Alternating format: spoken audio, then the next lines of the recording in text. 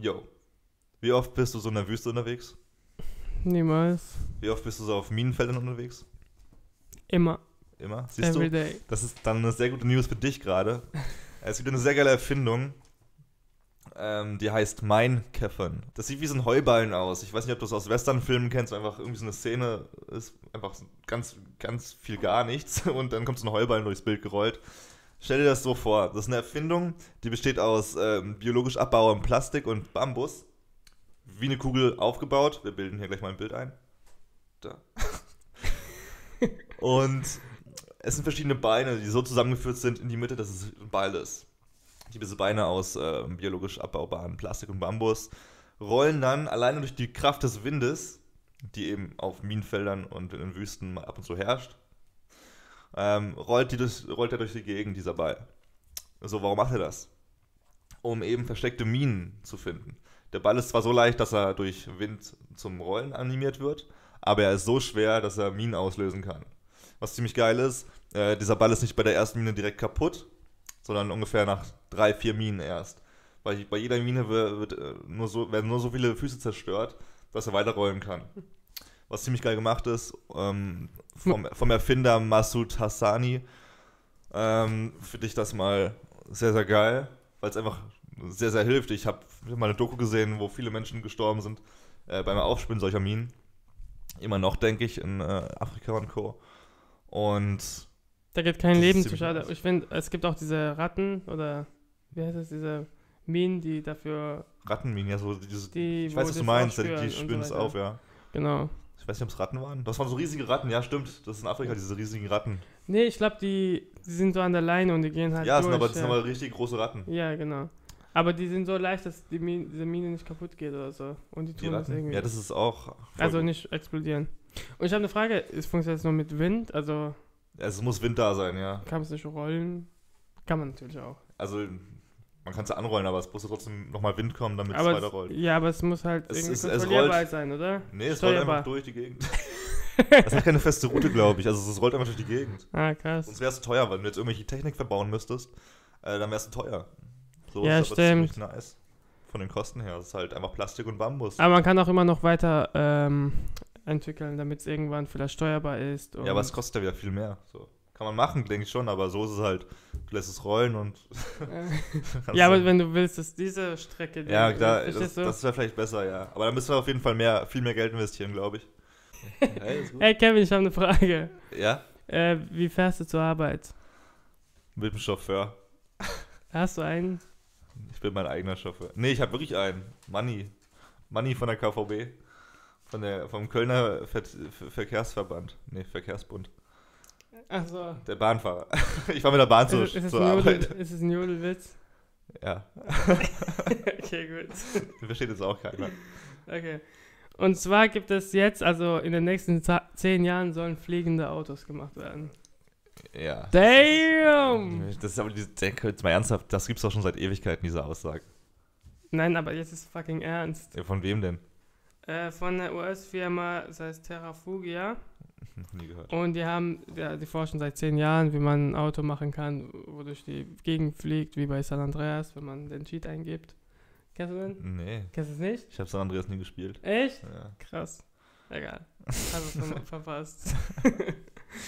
Und genau, also in den, also die forschen schon zehn Jahre, da, ähm, wie man ein Auto macht, also wie man ein fliegendes Auto baut. Und in den nächsten zehn Jahren sollte es schon ein Auto geben, in einem bestimmten Modell, was man jetzt schon auch vorbestellen kann und äh, mithelfen kann.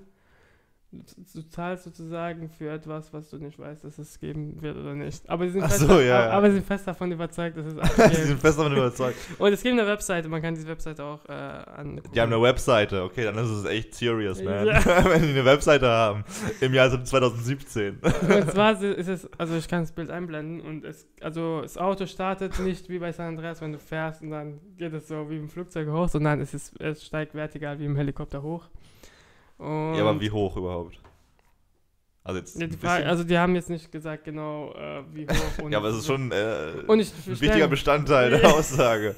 Ja, es fliegt halt durch die Gegend. Ja, aber wie hoch denn? Auf der Straße? Über der Straße? So ein bisschen? Nein, bestimmt höher über, der fliegt über Häuser, der nimmt direkt aber das ist doch voll äh, gefährlich so. Luftgewehr. Ja, irgendwann schon, wenn es alle es Ja, aber haben. Lied ist doch voll verrückt, oder? Ja, egal. Die arbeiten halt dran und Airbus äh, arbeitet auch an solche Projekte. Also demnächst sollte schon diese. Demnächst. Mein, demnächst sollte mein Wunsch schon in Erfüllung gehen. Ich wollte schon immer ein fliegendes Auto. Ja, aber das ist pures Chaos, glaube ich. Ich habe jetzt gedacht, die, die, die, die hovern so über den Boden ein bisschen. Hä? Die hovern. So, Nein. du Das Hoverboard von äh, fucking- Zurück in die Zukunft. Ja, Das ist so ganz wenig unter dem Boden. nein, was bringt es? Ja, aber was, das, das ist pure Chaos, wenn alles rumfliegt. Da gibt's kein, es gibt keine Straßen, es gibt keine Schilder, es gibt nichts in, in der Luft. Das ist pures, das ist die Ich glaube, es fährt, Anarchie, Alter. es fährt und du kannst auch fliegen damit. Ja, aber trotzdem fliegen Ich glaube, da müssen alle, dann Regeln gemacht werden. Ja, welche Regeln willst du da machen? Du hast keine Du Straßen, du hast nichts. Du sagst, Luft. hey, wir bauen keine Brücken, wir benutzen fliegende Autos nur dort. Verstehst du? Da hältst du doch keine Sau dran. Äh, also, die arbeiten dran in den nächsten zehn Jahren und wir sind halt dabei. wir sind dabei, hoffentlich. Und dann gibt's Fliegen. Das ist wie Jetpacks. Jetpacks haben sie auch gesagt, dass es geben wird. Ja, aber Jetpacks ist ja schon. Es wird aber auf jeden Fall sauteuer am Anfang. Also ich denke, für uns wird es eh kein. Also wenn unser Podcast mega reich und berühmt ist in zehn Jahre, ja, vielleicht. äh, wir machen es zehn Jahre durch. wir ziehen jetzt zehn Jahre das durch. so viele Nachrichten gibt es, glaube ich, gar nicht. ähm, aber das wird unfassbar teuer sein, wenn es. Ja, aber die arbeiten, findest du nicht Ja, die arbeiten an vielen. Ich finde es geil, ne? Ich finde es auch geil, wenn man so, sowas Aber du arbeitet. findest Chaos, dass es Chaos entstehen wird. Ich, ich glaube, wenn jeder das hat, wenn es ein paar haben und so, Jetpacks hat ja auch keiner richtig. Zum Beispiel, bevor es Straßen gab und dann einer hat ein Auto gebaut und hat gesagt, hey, damit fahren wir rum. Oder Flugzeuge. Ja, aber was gab's davor? Vor, vor Autos gab's äh, Pferdekutschen. Da gab's ja auch schon Wege. Auf dem Boden. Und Flugzeuge war immer was anderes. Es, gab ja nie, es gibt ja nicht so viele ja, Flugzeuge. Einer hat gesagt, wir fliegen und die haben gesagt, ja, ja, ich bin so. Ja, aber Ja, wir haben jetzt geflogen. Flugzeuge, aber das, wenn jetzt doch mal, guck mal, wir haben jetzt schon so, du musst schon voll viele Regeln im Luftverkehr. Und wenn jetzt irgendwie jeder Haus, jedes Haushalt in 50 Jahren, sagen wir mal, ein fliegendes Auto hat, das ist einfach, das ist Du siehst es also skeptisch. ja schon ein bisschen. So über den Boden ein bisschen schweben ist halt cool. Kann man machen. Damit, warum? Weniger Reibung. Nö, Und du bist schneller unterwegs. Nur weil es cooler aussieht. Okay. Damit du keine Katzen überfährst. ja, siehst du, Mann? Siehst du, du kannst einfach keine überfahren, richtig. So reh schon. ja, weil das größere, aber kleinere Tiere nicht. Kleinere, süßere Tiere nicht. Das ist das Wichtige, die süßen Tiere überleben. Das ist Darwins Selektion, Alter. Okay, das Die süßen Tiere drauf. überleben. Das hat Darwin auch schon gesagt früher, die süßen Tiere überleben.